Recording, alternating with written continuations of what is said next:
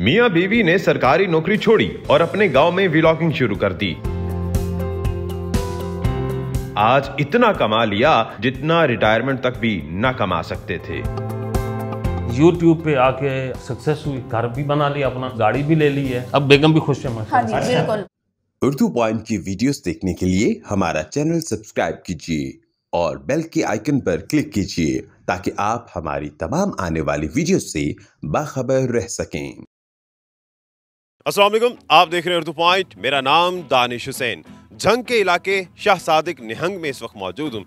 और आपकी मुलाकात एक ऐसी ज़बरदस्त व्लॉगर फैमिली से करवाने जा रहा हूँ। ये दो मियाँ बीवी हैं, मिंटो फैमिली के नाम से मशहूर हैं।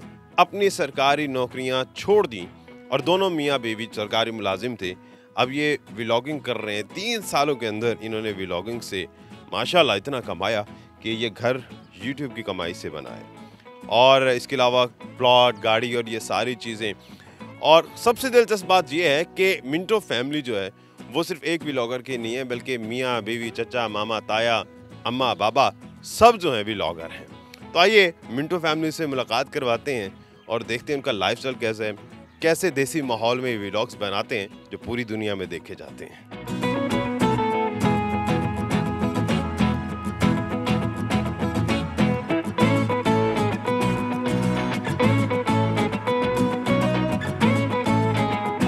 लोग सरकारी नौकरी के लिए लंबी लंबी कतारों में लगे होते हैं। आप दोनों ने सरकारी नौकरी छोड़ के व्लॉगिंग शुरू कर दी। ऐसा क्यों?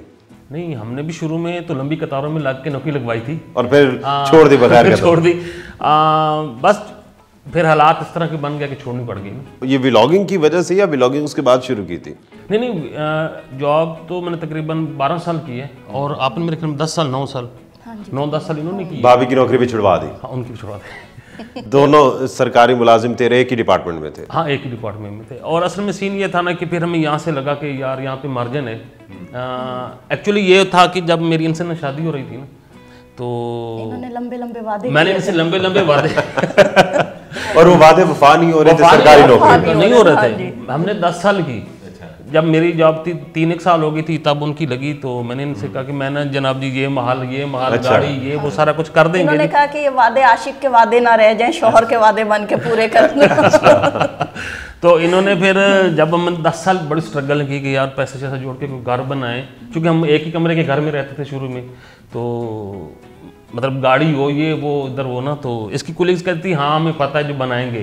तो खैर मैंने मुझे फिर गुस्सा आया मैंने कहा नहीं यार कुछ करना है। तो फिर मैंने ऑनलाइन कुछ काम किया फाइवर पे इधर उधर हाथ पे मारे। तो खैर फाइनली मुझे यहाँ पे ना यूट्यूब पे आके अल्हम्दुलिल्लाह माँ बाप की दुआ से सक्सेस हुई। और अब अल्हम्दुलिल्लाह आपके सामने घर भी बना लिया अपना। और गाड़ी भी ले ली है। और ख्वाहिशात भी कर लेते हैं। आ, मतलब जो जायज़ जितनी भी होती हैं अल्हम्दुलिल्लाह। अब बेगम भी खुश है हाँ माशा जी खुश हूँ और उसके बाद ये अब कोई वादा नहीं करते। अब नहीं नहीं अब तो चीज़ें यानी कि ये जो एक कमरे के घर से इसने माशाल्लाह बड़े घर तक का सफ़र ये सारा यूट्यूब से तय हुआ। अल्हम्दुलिल्लाह तो ये अब जो आप खुश हैं जिस तरह से आप बता रही हैं व्लॉगिंग की वजह से खुश हैं या ज़्यादा डॉलर्स आ रहे हैं इस वजह से खुश हैं? बस। इसलिए खुश हूँ कि पहले मुझे लगता है लाइफ में पहले शोहर होंगे जिन्होंने अपने वादे वफा किए की वफादारी चक्कर में ना मतलब इनसे वफा हुई तो अब ज़्यादा खुश है ना तो ये भी तो हम कह सकते हैं कि बीवी के तानों ने आपको व्लॉगिंग करने पर मजबूर कर दिया। हाँ कह सकते हाँ हैं थोड़ा बहुत तो बीवी के ताने सुन सुन के पक गया हाँ, पक वो बंदा थे फिर और लेकिन एक चीज़ और ये होती है कि मैं मैंने ये देखा है कि अगर मियाँ बीवी जैसे कहते हैं ना एक गाड़ी के पहिए हैं अगर ये पहिए बन जाए ये नहीं कि मैंने अकेले में किया इन मतलब शुरू में तो मैंने स्टार्ट लिया लेकिन बाद में ये जैसे मेरे साथ हैं इन्होंने भी शुरू किया हमने मिल के किया तो मिल के करने से ये हुआ कि बरकत पड़ी। अल्हम्दुलिल्लाह आज सेट है शुक्र अल्हम्दुलिल्लाह। व्लॉगिंग पहले तो आप बोलती भी थी ज़्यादा जैसे अब भी बोल रही हैं। लेकिन व्लॉगिंग में आप जो है ना हाँ ना में ज़्यादा जवाब दे रही हैं। ये आपका रोल ही इतना ही रखा हुआ है तसव्वुर साहब ने नहीं, या फिर आपने तो खुद साफ़ फोर्स करते हैं कि नहीं बोले। नहीं ये नहीं हाँ। ये शुरू में तो बहुत मुझे भी नहीं बल्कि बोलने देती थी। अच्छा। अब भी कभी कभी जनून चढ़ जाए तो मुझे नहीं बोलने देती। लेकिन थोड़ा सा काम इसलिए हो गई है कि ना कमेंट्स अक्सर अब शुरू में इतने कमेंट्स नहीं पढ़ती थी। अब ना कमेंट्स वगैरह को नहीं अच्छी तरह रीड करती हैं। तो वो दिल पे ले लेती उसको ना उनके असर ना दिल पे ले लेती हैं। कि जी हाँ जी ये जनाब जी औरत को आना शर्म आनी चाहिए ये काम कर रही है वो कार कर रही हैं। सोशल मीडिया के कमेंट्स को यानी कि आप सीरियस लेते हैं। सीरियस लेती हैं। और अच्छा और ये डिप्रेशन हो जाता है डिप्रेशन हो जाती है। लेकिन एक कमेंट जो है एक कंटेंट क्रिएटर के लिए कितना मीनिंगफुल होता है या कितना सीरियस होता है? ये आप बताएँ जरा हमें। मैं कहती हूँ हमने जो वीडियो लगाई होती है ना हमें वो भूल जाती है सिर्फ़ वो कमेंट्स याद रहता है। और उसका ना भी काफ़ी असर रहता है। अच्छा ये मिंटो क्या है मिंटो की कहानी मैं जानना चाहूँगा। नाम आपका तसव्वुर हुसैन है आप तसव्वुर सियाल के नाम से या तसव्वुर भाई के नाम से जाने जाते हैं मिंटो की कहानी क्या है? आ, मिनटो हम बैठे थे जहाँ पे मैं जॉब कर रहा था मेरे कोलीग्स थे साथ में ना। तो एक दिन वैसे हमें कोई फारी फ्री टाइम मिला तो बात डिस्कस हो रहा था। तो एक हमारे कोलीग हैं वो सारा हसन मंटो साहब के अफसाने वगैरह पढ़ते हैं वो हमें कुछ सुना रहे थे उसी में से ना। तो बस वहीं बैठे बैठे फिर हमने चैनल का डिसाइड किया। तो उसने मैं सजेस्ट किया चल ठीक है आप मिनटो ही रख दें। तो बस मिनटो लाइव शुरू किया रखा शुरू में। क्योंकि मैं उस वक्त खुद अकेला बनाता था फिर बाद में इन्फॉर्मेटिव हाँ।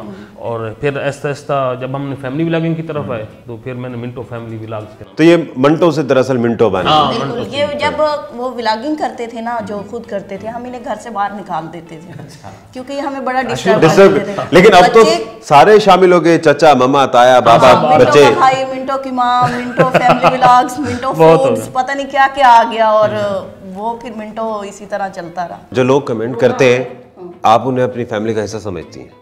ज़ाहिर बात है अच्छे हैं या बुरे हैं। आप अभी तक नॉर्मलाइज क्यों नहीं इन चीज़ों में? तीन साल तो हो गए। अच्छा। ये ये होता है ना कि भी अटैचमेंट ज़्यादा हो जाती है और हमारे जो ये जो व्लागिंग होती है इसमें जो देखने वाले हैं ना वो कम जो कमेंट्स करते हैं वो चंद मखसूस लोग होते हैं। उनमें सारे कुछ नहीं, हाँ सारे। नहीं सारे कुछ होते हैं जो करते भी नहीं है। देखते हैं सिर्फ़ अच्छा है बुरा है ठीक है। हमने इनको देखना है वॉच करना है और लेकिन जो कम अक्सर लोग होते हैं वो वो आदि बैठ मुजरिम होते हैं। हाँ आदि वो आदि मुजरिम हैं। कितनी कमाई हो जाती है? अल्हम्दुलिल्लाह अच्छी हो जाती है। काफ़ी अच्छी वैसे अंदाज़ा तो जिस तरह से आपने बताया कि घर बनाया गाड़ी बनाई और कुछ बाकी ख्वाहिशात भी पूरी है। हाँ करते ये अल्हम्दुलिल्लाह आप ये देख लें कि ये सारा कुछ अ, तकरीबन दो साल में हुआ है, क्योंकि एक साल तो मोनेटाइजेशन में लग जाता है पूरा चैनल ना। तीन साल तो मुझे काम करते हुए लेकिन अर्निंग प्रॉपर जो हमारी तकरीबन दो, सवा दो साल की है।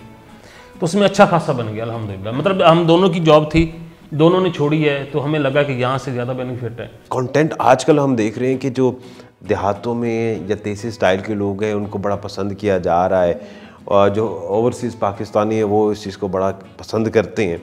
क्या आप समझती हैं? भाभी, आप बताएँ कि ये वजह है कि लोग इसलिए आपको देखते हैं कि देसी माहौल दिखाते हैं हमने स्टार्टिंग ही वहीं से ली थी। अपने तब हम कच्चा घर दिखाते थे। और उसके बाद जब ये बनाया तो फील हुआ कि लोगों को वो ज़्यादा अट्रैक्ट करता था हमारे इस घर से। लेकिन फिर कहते हैं ना कि वक्त के साथ साथ इंसान का रहन सहन तब्दील होता है। लेकिन कोशिश करते हैं कि अभी भी हम अपने व्यूवर्स को ना अपना वो देसी माहौल देसी माहौल खेत खलियान वो मकई की रोटी वो साग हाँ वो चीज़ें जैसे आने वाले हैं मेहमान आते हैं हम उनको लाजमी दिखाते हैं जैसे अब आप लोग आए हुए हैं तो मैं मैं कहती हूँ आप लोगों ने बहुत देखे हैं लेकिन हम लाजमी आपको अपना गाँव दिखाएँगे कि देसी माहौल कैसा होता है हमारी तरफ़ कैसा होता है हमें खुशी होती है। बल्कि मैं बात काट रहा हूँ उनकी। बल्कि जो जितने भी यूके यूएसए कनाडा मतलब इन कंट्रीज़ में यूरोप में रह रहे हैं बाकी सारे लोग तो वो हमें देखते भी इसी वजह से हैं। चलें अब बात यहीं पे रोकते हैं। आपने ज़िक्र कर दिया कि आप देसी माहौल देखते हैं तो हम इस माहौल में क्यों बैठे हुए हैं? उठते हैं चलते हैं बाहर वहीं जाके कोई गपशप भी करते हैं और देसी माहौल आपको भी दिखाते हैं। ठीक है? ज़रूर। चलें हाँ जी।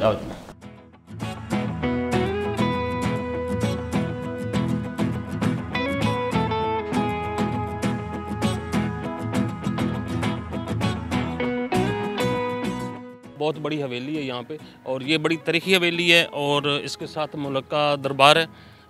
अपन हमारा जो है वो उसके तकरीबन साढ़े चार सौ मुरबा ज़मीन है उसके नाम पे ना, जो कि महकमा कौफ के पास है अभी ना।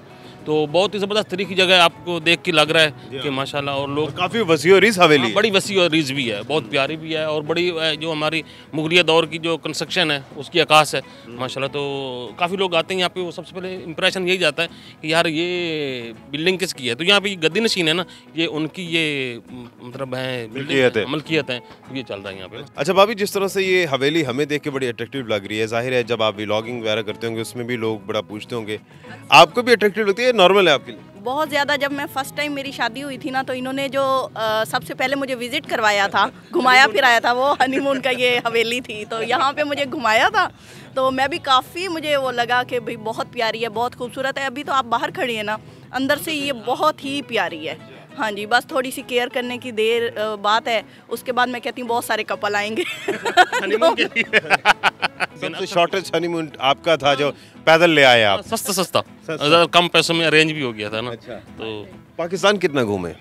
पाकिस्तान तकरीबन नादरन एरियाज़ तकरीबन हम सारा घूम चुके व्लॉगिंग के लिए या वैसे? हैं विलागिंग के लिए। हाँ विलागिंग भी की खुद भी घूमे। हमें मज़ा आया कि यार पाकिस्तान इतना खूबसूरत है। ये वाकई है बहुत खूबसूरत घूम चुके हैं।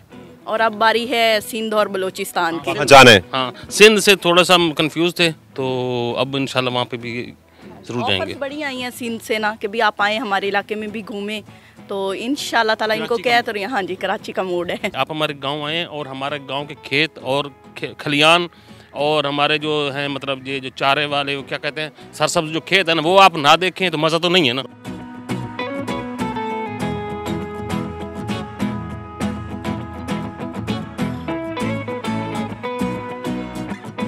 व्लॉगिंग देहाती माहौल दिखाना, ये आसान है या मुश्किल है?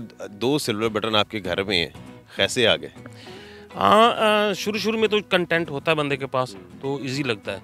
लेकिन जो जो वक्त गुजरता है कंपटीशन बढ़ता है और लोगों को तवक्को होती है कुछ और दिखाएँ। सब कुछ दिखा चुके होते हैं दिखा चुके होते हैं तो फिर कंटेंट ना क्रिएट करना पड़ता है बनाना पड़ता है। लेकिन ओवरऑल जो हमारे देखने वाले हैं वो जो गाँव की लाइफ है ना बहुत पसंद करते हैं। और आपको आप भी यहाँ पे आए हैं तो आपको भी उम्मीद है कि मज़ा आया होगा यहाँ पे। बहुत अच्छा पुरफजा मकान। हाँ बहुत ही ज़बरदस्त अच्छा ये अपनी ज़ाती लाइफ शेयर करना ये कितना मुश्किल होता है कि मतलब आप अपना किस तरह से पका रहे हैं, किस तरह से रह रहे हैं, किस तरह से लड़ रहे हैं, किस तरह से घूम रहे हैं, ये सब कुछ व्लॉग्स में दिखाना। जहाँ देखने वाले के तो बड़ा इंटरेस्टिंग है, लेकिन आपके लिए कितना मुश्किल होता है? फ़र्स्ट स्टार्टिंग में तो मुश्किल होता है कि ये हम क्या कर रहे हैं और क्या दिखा रहे हैं। आहिस्ता आहिस्ता ऑडियंस के साथ इतनी अटैचमेंट हो जाती है कि फिर हम अगर ना भी दिखाएँ ना तो हमें खुद चैन नहीं आता। हम कहते नहीं उनको पता लगे आज हम लड़े हैं और हम क्यों लड़े हैं? तो वो फिर आगे से रिस्पॉन्स देते हैं कि आज हमारी भी लड़ाई हुई है आज मेरे हस्बैंड से हुई है मेरी वाइफ मेरी वाइफ से हुई है। तो मैंने उनको इस तरह हैंडल किया तो आप भी आप इस तरह करें, भाई आप इस तरह करें। तो काफ़ी मशवरे भी आते हैं तो अब बंदे को ना थोड़ा थोड़ा आदि हो गए हैं कि हम उनको जब तक ना बताएँ तो हमें शायद खाना भी नहीं हजम होता। ये ज़रा आखिर में तसव्वुर साहब बताइएगा कि कंटेंट जिस तरह से आप बना रहे हैं, आप अपने मोबाइल से बना रहे हैं एडिटिंग कर रहे हैं, ये सारा कुछ ये आपने जिस तरह से पहले भी बताया हमें कि सारा कुछ आप खुद करते हैं ये देखने वालों को जो सोचते तो हैं कि हम कुछ नया कंटेंट जनरेट करें लेकिन वो बड़े सहम जाते हैं। एक गाँव में बैठ के शख्स टेक्नोलॉजी का इस्तेमाल करते हुए पूरी दुनिया तक अपनी आवाज़ पहुँचा सकता है खुद उसके लिए कितनी तगदो करनी पड़ती है सीखना पड़ता है या फिर वो प्रैक्टिस कर करके खुद ही सीख जाता है या आप कैसे सीखे? हाँ ये बेसिकली आपको पता ग्लोबल विलेज है। और आप दुनिया के किसी कोने में भी हैं तो आप दुनिया से टच रह सकते हैं। तो अब हम भी इसी तरह ही हैं कि अपना एक तो अपना इजहार करते हैं, दुनिया तक हमारी आवाज़ जाती है। दूसरा कंटेंट ये है कि शुरू शुरू में आसान होता है, फिर ऐसे ऐसे कंपटीशन बढ़ता है। तो फिर आपको थोड़ा थोड़ा सा मुश्किल होता है, निकलना पड़ता है। जैसे अब हम भी निकलते हैं बाहर बाहर जाके चीज़ें दिखाते हैं, अपना गाँव भी दिखाते हैं और दूसरे के गाँव भी दिखाते हैं। तो इस तरह है कि बाकी ये होता है कि आपको पता है दुनिया में काम, पैसा कमाना ज़रा कोई आसान नहीं होता, मुश्किल तो होता है। लेकिन ये है कि थोड़ी सी मेहनत करने के बाद इंसान जो है ना ज़रा ज़िंदगी अपनी आसान कर बैठता है। ये मुश्किल नहीं लगता खेतों में घुसना बैलगाड़ी पे सफ़र करना व्लॉग बनाना? मज़ा आता है इंजॉय करते हैं बड़ा मज़ा करते हैं हम हँसते भी हैं इंजॉय भी करते हैं मज़ा भी आता है। बस ये एक थोड़ा सा होता है कि लोगों को अपनी ऑडियंस को दिखाने के लिए गर्म गर्म खाना हमारा अपना खाना ठंडा हो जाता है। ये हो जाता है। बाकी बाकी में ज़बरदस्त। से भाप खाने में से भाप निकलती उनको दिखा देते हैं खुद ठंडा खाते हैं।